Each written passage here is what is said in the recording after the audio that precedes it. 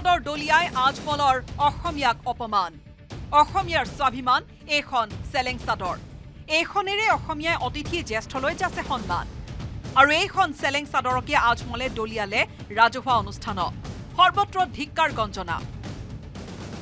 সাম্প্ৰদায়িক ৰাজনীতিৰ বিষবাস্প বিয়পাই ক্ষান্ত নোহোৱা আজমলে বাৰে বাৰে হাত দিছে কৃষ্টিৰ বৰপেৰাত ইয়াৰ পূৰ্বে গামোচাও দলিয়াই থৈছিল মঞ্চত। অহা বিছ পঁচিছ বছৰত মিয়াৰ ভৰি ধোৱা পানী খাব লাগিব বুলি অসমীয়াক তাচ্ছিল্য কৰা আজমলে বাৰে বাৰে অসমতে থাকি অসমীয়াৰ অপমান কৰি আহিছে। এনে কাৰ্যক সহজভাৱে ল'ব পৰা নাই অসমীয়াই। বদৰদিন আজমলে ধৰ্মীয় বস্ত্ৰ চেলেং চাদৰ দলিয়াই দিয়াৰ পিছতেই জাঙুৰ খাই উঠিছে গুৰুজনাৰ জন্মস্থান। বটদ্ৰৱাৰ ভকত বৈষ্ণৱৰ লগতে সত্ৰাধিকাৰ দেৱানন্দ দেৱ গোস্বামী আৰু সত্ৰাধিকাৰ যোগেন্দ্ৰ নাৰায়ণ দেৱ মহন্ত। এক আধ্যাত্মিক সম্পদ চেলেং গামোচা ধৰ্মীয় সম্পদ আৰু অসমীয়া জাতিৰ স্বাভিমানৰ বস্ত্ৰ। অপাত্ৰত দিয়াৰ কাৰণে লওঁতাজনে তাৰ মূল্য বুজি নাপায়। তাক দলিয়াই যি অপমান কৰিলে তাত আমি অতি আশ্চৰ্য প্ৰকাশ কৰিছোঁ।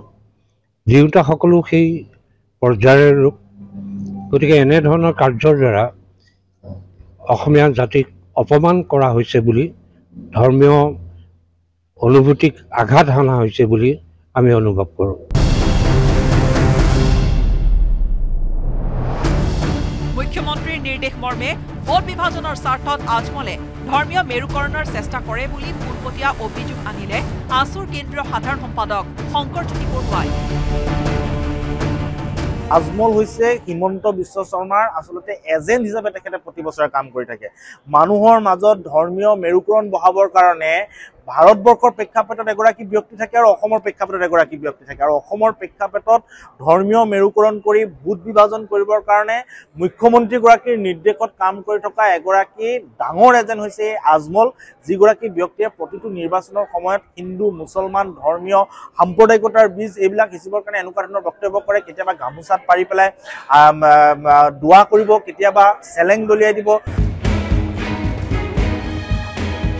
ইফালে আজমলে চেলেং চাদৰ দলিওৱাক লৈ আৰম্ভ হৈছে ৰাজনৈতিক আক্ৰমণ প্ৰত্যাক্ৰমণ। কংগ্ৰেছৰো অভিযোগ।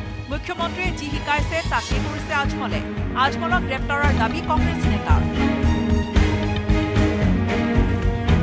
যে যোৱা কালি যি ৰাজহুৱা মঞ্চত আজমল চাহাবে চেলেং দলিয়ালে সেইটো মুখ্যমন্ত্ৰী হিমন্ত বিশ্ব শৰ্মা ডাঙৰীয়া পৰামৰ্শ অনুসৰি নিৰ্দেশ অনুসৰি সেই কামবোৰ কৰিছে।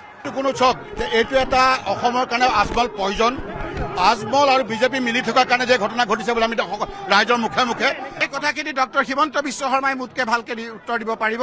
কাৰণ তেওঁ কৈছে যে বদৰদিন আজমল ডাঙৰীয়াক ইলেকশ্যনৰ আগত এশ কিলোমিটাৰ দূৰত থৈ বুলি কৈছিল আৰু এতিয়া তেওঁ আঁঠুৱাৰ তলত সোমাই লৈছে। গতিকে আঁঠুৱাৰ তলত সোমাই লোৱা মানুহজন কি কৰি আছে কি নাই কৰা এইটো ডক্টৰ হিমন্ত বিশ্ব শৰ্মা মাননীয় মুখ্যমন্ত্ৰী ডাঙৰীয়াই মোতকৈ ভালকৈ উত্তৰ দিব পাৰিব। বিধায়ক দিগন্ত কলিতাই কলে আজমলক গ্ৰেপ্তাৰ কৰা হ'ব যদিহে আজমলৰ বিৰুদ্ধে কোনোবাই এজাহাৰ দাখিল কৰে। কোনোবাই এফ আই আৰ দিয়ক। কোনো মানুহে এফ আই আৰ নিদিয়ে এফ আই আৰ দিয়ক। নিশ্চয় ব্যৱস্থা হ'ব। আজমলক ৰক্ষণাবেক্ষণ দিয়াৰ চেষ্টা সতীৰ্থ ৰফিকুল ইছলামৰ। আকৌ চেলেং চাদৰটো তেখেতৰ কাণ্ডত যেতিয়া দিছে সন্মুখত এজন বৃদ্ধ মুৰব্বী মানুহ আছিল। চেলেং চাদৰ কিমান ধুনীয়া হয় আপোনালোকে দেখিছে দেখাত ধুনীয়া। সেই মানুহজন তাৰ পৰা কৈছিল যে হুজুৰ ছাৰ এই চাদৰটো মোক দিয়ক। তেতিয়া তেখেতে সেই নিজৰ কাণ্ডৰ চাদৰটো মানুহজনক কেনেকৈ দিছে সন্মুখত যিটো বহি আছিল। সেই ক্লিপটো আপোনালোকে দেখাই দিব। চেলেং চাদৰ তেখেতে দলিয়াই দিয়া নাই। তেখেতকতো চেলেং চাদৰ যেতিয়া তেখেতক সম্বোধন কৰিছে মৰমত গলত লৈ বহুত টাইম আছে টেবুলত